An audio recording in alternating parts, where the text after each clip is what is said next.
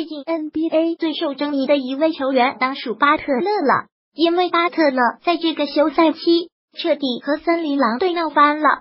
他先是在训练中带着一群边缘球员打爆了主力球员，紧接着又跟记者吐槽说森林狼队的很多人有天赋，但是不努力，自己很讨厌这种感觉。而森林狼也一直在尝试交易巴特勒，甚至和火箭队和热火队商讨了几番。但是森林狼队漫天要价，本赛季即将开始，巴特勒有很大的可能性留在森林狼队，而森林狼队试图解决了巴特勒之间的矛盾。这次事件中涉及到维金斯，也在近日回应了巴特勒。维金斯今天在采访中谈到队友吉米巴特勒备受指责的维金斯，给予巴特勒非常高的评价。我所知道的是，当我们开始打硬战时。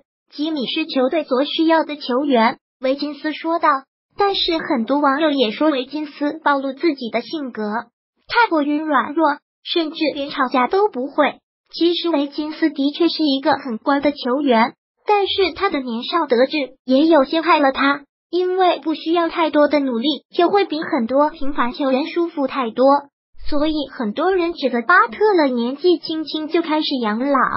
甚至也有很多网友指责维杰斯根本对不起壮的名头。消息来源：